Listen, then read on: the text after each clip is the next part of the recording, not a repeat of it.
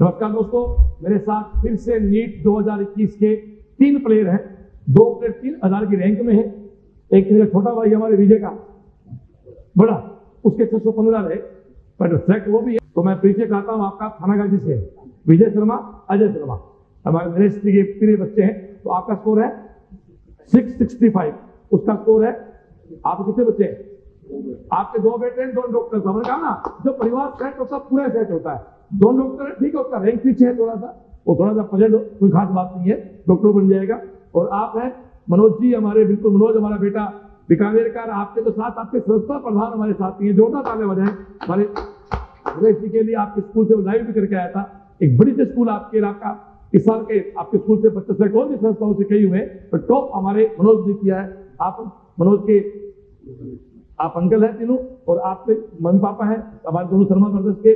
तो सबसे पहले मैं बात रमेश जी कराऊँगा जो आप एक संस्था प्रधान है एक अच्छा स्कूल आप चलाते हैं राशि सर में। नौका मार करने के बहुत नज़दीक आपका स्कूल है तो, तो स्कूल के बारे में बताते हुए फिर अपनी बात रखें। एक बार जोरदार तालियाँ हमारे भाई के लिए प्लीज़ अपनी बात रखें। जय श्री कृष्णा। बहुत बहुत धन्यवाद श्रवण जी का जिन्होंने हमें यहाँ बुलाया और उसका माध्यम बना मनोज उसको भी बहुत बहुत धन्यवाद। तो श्रवण जी हमारी स्कूल लाइव करने के लिए गए भी थे और उन्होंने देखकर अच्छा भी बताया और वास्तव में जब नीट 2021 का ये जो परिणाम आया, इसमें अपनी स्कूल से छः बच्चों का सिलेक्शन हुआ साहब। एक चालीस बच्चों की क्लास लगाते हैं, सीधी जो दूसरी स्कूलें क्लास लगाती है सेम उसी वे में हम क्लास लगा रहे हैं और एक क्लास में से छः बच्चों का नीट में सिलेक्शन होना साहब। अच्छा प्लेटफार्म दे रहे थे। हमारे माँ बाप ने जो हमें सिखाया, उसके हिसाब से हम कर रहे थे कि बेटा काम करो तो ईमानदारी से करना। और अच्छी, कहते हैं ना, तालीम एक कोई बादशाह थे, उन्होंने अपना दरबार लगाया, वज़ीर आया। वज़ीर ने कहा, साहब, हमने इस बल्ली को एक मोमबत्ती, जलती हुई मोमबत्ती देकर खड़े रहना सिखा दिया। तो दरबार में बुलाया गया। जब मोमबत्ती लेके बिल्ली खड़ी हुई तो सबने उसको देखा अचंबा किया कि बहुत अच्छी इसको शिक्षा दी एजुकेशन दी, कि इसको तालीम दी है। उसके बाद में एक वहाँ संत बैठे थे, उन संत ने कहा था साहब, तालीम तो दी है, लेकिन तरबियत दी है कि नहीं है, ये भी तो जांचना चाहिए।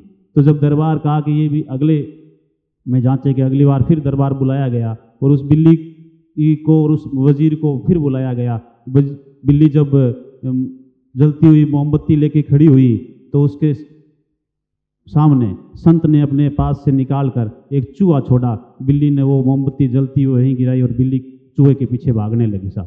तो हमें हमारे गार्जियन ने कहा कि उस आपको तालीम और तरबियत के साथ में काम करना है, कहीं पर भी करो तो हमारे, हमें, हमारे माँ बाप ने ऐसे गुण दिए हैं, ऐसी बात है। तो देखो, डॉक्टर अच्छे होते हैं, माना जो डॉक्टर में सिलेक्शन हुआ है, उनको मैं, उनसे मैं बात करना चाहता हूँ। डॉक्टर नो डाउट अच्छे होते हैं, लेकिन कब? जब तालीम के साथ तरबियत भी हो। नहीं तो वो पैसों के डॉक्टर ऐसे भी होते हैं जो किडनी भी बेच देते हैं। तो अपने को वैसा डॉक्टर नए बने सीएलसी ने अच्छे संस्कार दिए हैं, जो लिखा है, शिक्षा, सफलता, सुरक्षा और संस्कार। अच्छी बात लिखी है और वाकायदे मिली है। अपने स्कूल से काफ़ी सारे बच्चे, बारह तेरह बच्चे नीट के तैयारी करने के लिए पिछले से पिछले साल जब निकले थे तो अच्छे बच्चे भी थे, बराबर के बच्चे भी थे मतलब बीच के बच्चे भी थे, मीडियम और लो बच्चे भी थे। मनोज को एक मीडियम बच्चा समझ कर हमने। एक बच्चा मात्र सीएलसी को दिया, बाकी बच्चे इधर उधर गए। जहाँ भी जिस भी कोचिंग में सफल, वो भी हुए ऐसी बात नहीं है। लेकिन मीडियम जो बच्चा था, वो आज हमारे स्कूल में सबसे टॉप रैंक के साथ में सेलेक्शन हुआ। ये सीएलसी में आके हमें कुछ बदलाव लगा और हम बहुत खुश हैं साहब। अभी इस बच्चे की वजह से, जैसा और सरवण जी की मेहनत की वजह से जब बच्चे का सिलेक्शन हुआ, आठ आठ, दस दस बच्चों का, अभी 600 के पास भी चार बच्चे हैं तो लोगों ने कहा, भाई अच्छा है, कहाँ किया, कैसा किया, आए। सरवण जी, आपके पास लगभग चालीस बच्चे भेजे हैं साहब।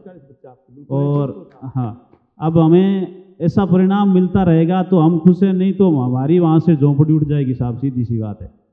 क्योंकि मैं जितना स्कूल के फ़ोन आते हैं, चार उसमें दो फ़ोन आपके सीएलसी में जो बच्चे पढ़ रहे हैं, उनके गार्जियन के आ रहे हैं। तो मैंने इस विश्वास के साथ भेजा है और ये बना रहेगा।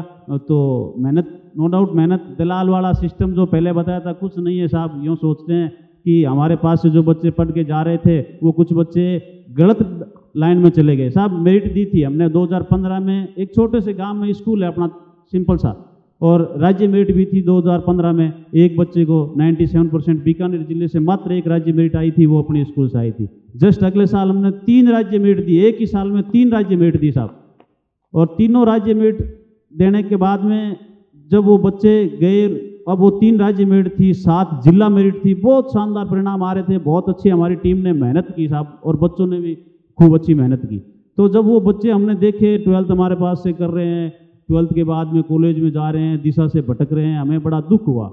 और फिर हमने कहा, फिर अपने स्कूल का क्या फ़ायदा? अपने कोई पैसे कमाने के लिए मात्र स्कूल नहीं खोला था। बच्चों को कामयाब करने के लिए। जो सरवण जी ने कहा था, गाँव से, हर गाँव से बने अपना डॉक्टर और इंजीनियर। उसी हिसाब से हमने किया था कि गाँव के बच्चे भी कुछ आगे आना चाहिए। पहले ये लगभग लगता था कि डॉक्टर का बेटा, डॉक्टर इंजीनियर का बेटा इंजीनियर किसी अफसर का बेटा, अफसर। तो उस कड़ी में हम गाँवों को भी जोड़ना चाह चाहते थे, हमारे पिताजी ने, हम स्कूल शहर में कर सकते थे पॉसिबल थी, जगह था, सब कुछ था, लेकिन हमारे पिताजी ने कहा कि नहीं, शुरुआत गाँव से करो, गाँव भी तो अपना है, यहाँ से भी कुछ होना चाहिए।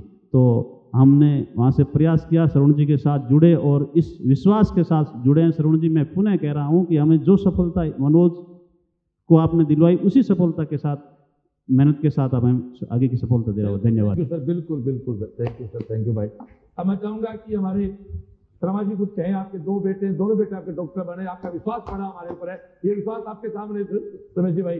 दो ही बच्चे हैं दोनों डॉक्टर आपके। जय सी एल सी मैं सी एल सी को तय दिल से धन्यवाद देना चाहता हूँ और बॉस का बहुत बहुत आभारी हूँ जो कि मेरे दोनों बेटों को आज इस मुकाम पे खड़ा कर दिया इन्होंने। और इनका प्लेटफॉर्म वहाँ जयपुर से नरेश जी के विवेक से चलता रहा है। हाँ। उनके सहयोग से सारा कुछ यहाँ तक आज ये पहुँच पाए हैं। जो भी श्रेय देता हूँ बॉस को नरेश जी को दोनों को देता हूँ। ना साहब सर नरेश का रोल है इनमें इनमें ज़्यादा नरेश का मेरे लिए सर दोनों बराबर है संस्था में एमडी की पोस्ट पे हैं। धन्यवाद। थैंक यू आप कुछ कहना चाहें बेटा प्लीज़ मेरा नाम विजय शर्मा है और मैं तीन मई 2018 को सीएल से जयपुर गया था। और मुझे वैसे कुछ ज़्यादा कुछ ज़रूरत पड़ी नहीं कहीं जाने की सीधे सीएल से गए थे क्योंकि भाई पिछले साल सीएल से आ गए थे। और मैं बताऊँगा मतलब सी, पहले हम सीकर आए थे भाई को लेके लेकिन सीकर में कोई ऐसी कोचिंग में फंस गई नाम तो बोल नहीं सकते। फंस गए जो एक महीने में ना भाई को दोबारा लेकिन मतलब लेके गए घर पे। फिर पापा ने वही मतलब एडमिशन कराया कि अब तेरे तो बस की है नहीं दूर जाने की इसलिए। लेकिन फिर जयपुर गए वहाँ पर फिर सीएलसी देखी यहाँ पर तो देख नहीं पाए थे पहले लेट हो गए थे हम।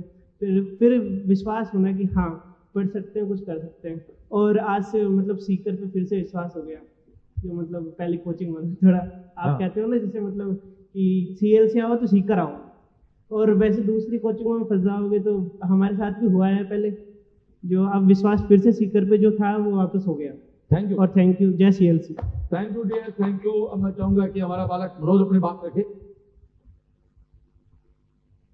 सर्वप्रथम मैं अपने माता पिता और सीएलसी के डायरेक्टर हमारे प्रिय बॉस और मेरे पिता तुल्य, मेरे पास बैठे रमेश जी और सभी आगंतुकों को मैं अपना सादर प्रणाम करता हूँ और इसी के साथ मैं अपनी बात को आगे बढ़ाए, बढ़ाते हुए मैं ये बताना चाहता हूँ कि सीएलसी में मेरे को क्या दो साल में जहाँ सीएलसी में रहा हूँ, पिछले साल मेरा पाँच सौ पचपन के साथ स्कोर था, परंतु मेरा सिलेक्शन नहीं हो पाया।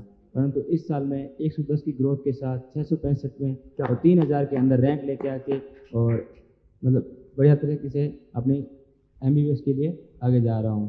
तो मैं ये बताना चाहता हूँ कि एक महाभारत के किस्से के अनुसार मैं बताना चाहता हूँ कि एक सारथी की क्या भूमिका होती है? सारथी मतलब जो संचालन करता है आगे। भाई, युद्ध में महाभारत का युद्ध हो रहा था। सेना किसके पास ज़्यादा थी? कौरवों के पास। और जीत किसकी हुई थी? पांडवों की। कारण क्या था? एक था सलाहकार।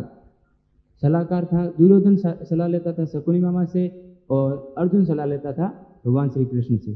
तो सलाहकार होता है, वही डिसाइड करता है कि परिणाम क्या होगा। वैसे ही सी एल सी सिक्कर में अन्य कोचिंग भी है, परंतु यहाँ पर एक ऐसा सलाहकार है, एक ऐसा सारथी है जो सी परिवार का एक मार्गदर्शक है और सी एल सी परिवार को सारथी की भूमिका निभाते हुए बहुत आगे तक लेके जाता है। बोस बोस ने 25-26 साल तक तपस्या की है और इसी का रिज़ल्ट है कि लॉकडाउन हुआ, दो साल हो गए, परंतु कई कोचिंग बिखर गई, परंतु सीएलसी निखर गई। सीएलसी निखर गई और मैं अपने गुरुजनों के लिए दो लाइनें बोलना चाहता हूँ, जिसमें अगर कोई त्रुटि हो तो माफ़ कर देना। सब धरती कागज़ किया लेखनी सब बनकाए। सात समुद्र की मियाँ करूँ गुणगुण लिखा न जाए। क्या बात? गुणगुण लिखा न जाए। अब मैं मैं भी एक रिपीटर था परंतु मैं अपने रिपीटर जो इस साल भाई भाई बहन है जो मार्जिन केस पे है या फिर किसी कारणवश सेलेक्ट नहीं हो पाए हैं उनके लिए दो वक्त दो लाइनें कहना चाहता हूँ कि विजेता कौन होता है? विजेता वह नहीं होता जो जीतता है विजेता वह होता है जो हार नहीं मानता है। विजेता वह होता है जो हार नहीं मानता है। आज आप हारे हो कल आप विनर बन के इसी मंच पे आओ। इसी मंच पे आके सम्मानित हो। जय श्री हरि थैंक यू तो ये हमारे परिवार के लोग, तीन डॉक्टर बैठे हैं, अजय, विजय, मनोज। आप बीकानेर से हैं, आप थानागढ़ अलवर से हैं। पूरा राजस्थान और हरियाणा का मिशन हमारे यहाँ है। आप सबको बहुत बहुत साधुवाद और भाई रमेश जी को बिल्कुल मैं कोई एक वादा नहीं, एक विश्वास दिला सकता हूँ कि सीएलसी आपकी उम्मीदों पे खरी है, खरी रहेगी। आप सबको बहुत बहुत धन्यवाद। नमस्कार दोस्तों।